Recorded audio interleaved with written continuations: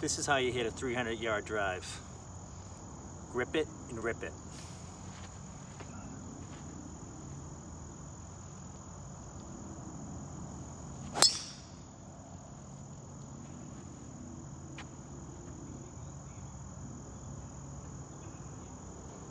Three fifty, sorry.